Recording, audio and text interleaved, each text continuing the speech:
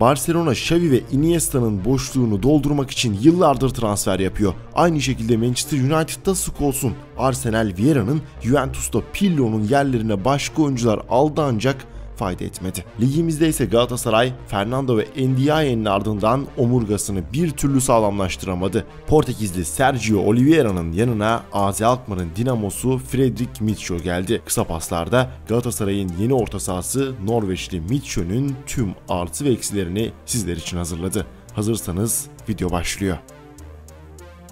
Fredrik Mitsjö 1993 yılında Norveç'te doğdu. Futbola da ülkesinin amatör kulüplerinden Stjørdals Blink altyapısında başladı. Gelişim sürecini ise ülkesinin köklü takımlarından Rosenborg'da sürdürdü. 19 yaşında A takıma kadar yükselen Mitsjö önce Ranheim'a ardından da Sandnes Ulf'a kiralık olarak gitti. Ardından Rosenborg A takımının değişilmez ismi oldu ve 148 maçta 22 gol ve 33 asistlik önemli bir başarı kaydetti. Burada gösterdiği performans AZ Alkmaarlı scoutların dikkatini çekmişti. 2017 yılında 2. 1.2 milyon euro bon servis bedeliyle AZ'nin yolunu tuttu. Alkmaar'da toplam 194 maça çıkan Mitchell 7 gol ve 31 asist yaptı. Dinamik ve savaşçı yapısıyla Galatasaray'da geçtiğimiz yıllarda forma giymiş Tobias Linderond'a benzer yönleri olduğunu söyleyebiliriz. Kişisel özelliklerine baktığımızda 90 dakika yorulmak bilmeyen bir yapısı var. Temastan ve ikili mücadeleden çekinmiyor. Genelde teknik direktörlerin kadroda yer vermek isteyeceği türden birisi. Çalışkan ve sahada basmalık yer bırakmayan Mitchell hücumdaysa genelde savunmadan topları çıkaran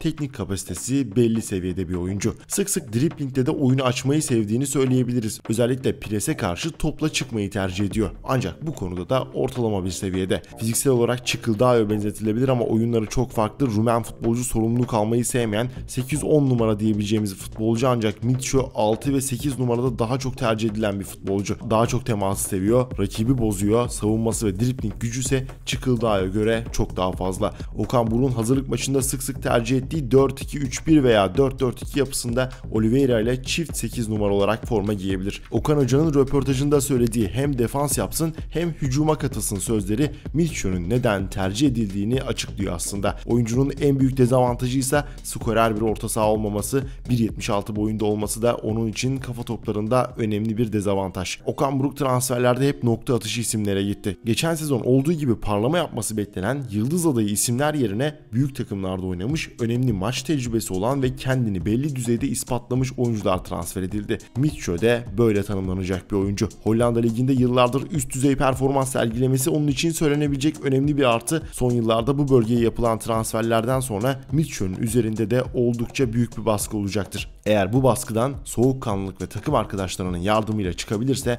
takımına önemli bir katkı sağlayabilir. Transferin mali boyutuna bakacak olursak Galatasaray AZ Alkmaar'a 3,5 milyon euro bonservis ve bazı bonuslar ödeyecek. Oyuncuya ise 1 milyon euro civarında maaş verilmesi bekleniyor. Peki siz bu transferi nasıl değerlendiriyorsunuz? Sizce Mitchell aranan isim mi? Yorumlarınızı belirtmeyi ve 7-24 güncel haberler için kısa paslar Instagram'a uğramayı unutmayın. Burası kısa paslar. Hoşçakalın.